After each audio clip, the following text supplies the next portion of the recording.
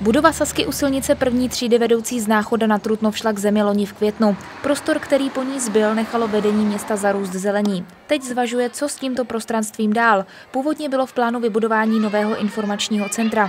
Nové vedení města ale teď začíná od začátku. Jak upravit toto místo nebo třeba letní amfiteátr, kde se každoročně koná Mezinárodní folklorní festival, má pomoci nová komise architektury, urbanismu a rozvoje města. Slibujeme si od té komise to, že nás povede tím správným směrem, jak takovýmhle prostorům přistupovat. A těch stěžejních věcí tady ve městě no, problematických je víc. Samozřejmě ten prostor mezi školami, prostor náměstí, každý zná Kostelecké náměstí, dopravně složité. V tuhle chvíli ještě otvíráme prostor Svojsikova parku a přilých sportovišť. A ta komise teprve začíná v tuto chvíli. Eh, personálně ji naplňujeme. Jedním z bodů, který bude komise řešit, jsou tenisové kurty vedle divadla J.K. Tyla. V úvahu přichází i jejich přestěhování do blízkosti fotbalového hřiště.